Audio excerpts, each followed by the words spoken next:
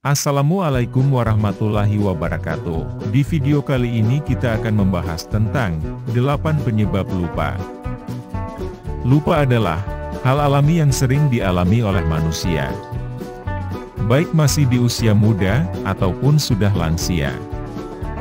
Lupa sendiri adalah sebuah proses bagaimana hilangnya kemampuan manusia untuk mengingat kembali apa yang telah dipelajari sebelumnya. Ahli bernama Gulo, 1982, dan Reber, 1988, menggambarkan lupa dengan ketidakmampuan otak kerja kita untuk mengenal atau mengingat sesuatu yang kita alami atau pelajari.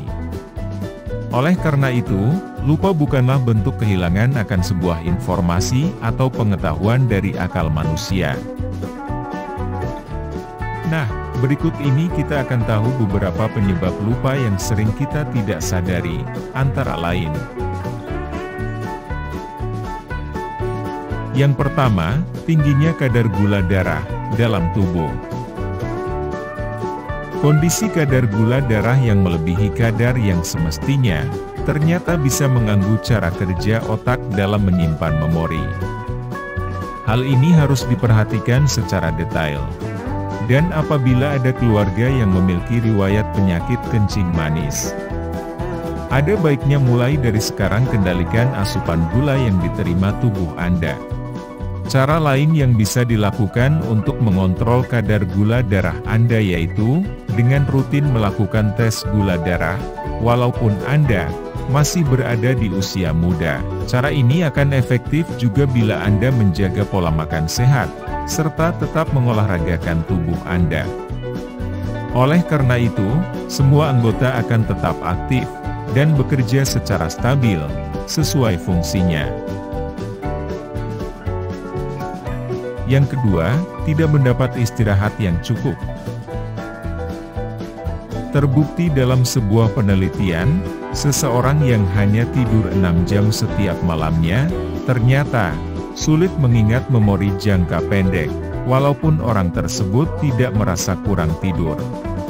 Oleh karena itu, akan lebih baik Anda mendapat tidur, atau istirahat cukup, yaitu 8 jam. Dengan tidur cukup, kemampuan daya ingat Anda akan sendirinya menajam, dan mampu mengingat baik memori pendek, atau memori jangka panjang. Apabila Anda tidak sempat, karena alasan tertentu, bisa mencoba alternatif lain seperti tidur pendek selama kurang lebih 6 menit hanya untuk mengistirahatkan tubuh yang lelah. Kegiatan ini dianggap efektif untuk memicu otak selalu memicu memori penting. Kemudian yang ketiga, mengalami depresi. Bagi mereka yang mengalami gangguan mental depresi, secara tidak langsung akan mengalami gangguan pada sel-sel di dalam otak. Kondisi ini juga memaksa sel-sel otak mati, sehingga daya ingat akan merosot perlahan. Oleh karena itu, akan lebih baik gangguan mental depresi segera diobati. Karena apabila tidak segera, semakin banyak sel-sel otak yang hilang. Semakin banyak pula daya ingat akan semakin turun, dan sulit untuk kembali ke posisi normal, bahkan, untuk lebih ditingkatkan. Keempat, mendengkur. Saat tidur, tidak banyak dari kita yang menyadari bahwa kita mendengkur.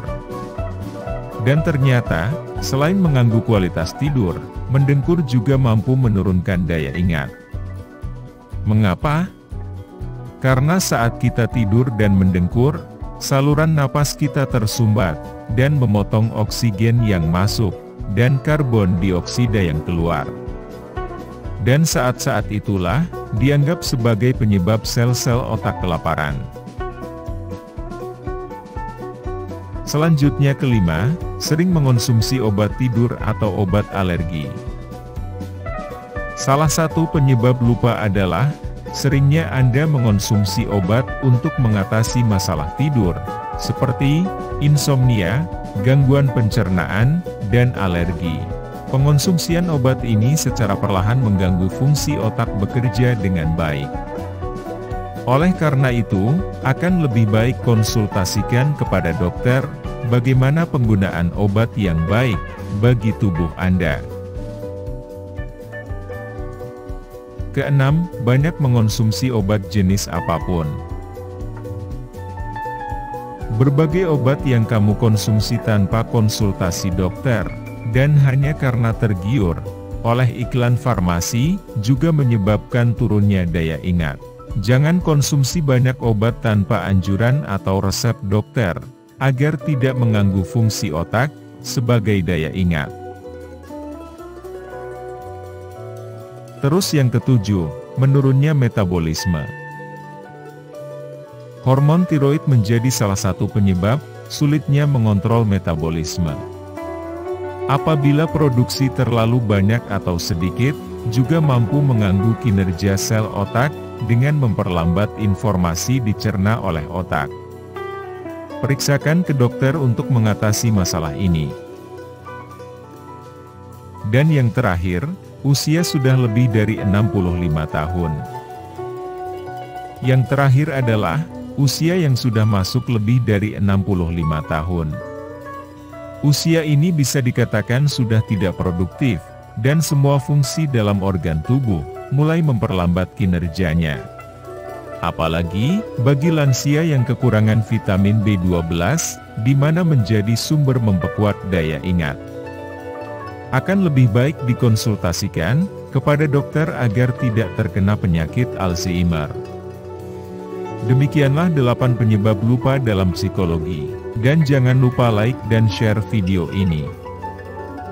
Bagi kalian yang belum subscribe, Jangan lupa tekan tombol subscribe untuk mendapatkan update terbaru dari video-video lainnya.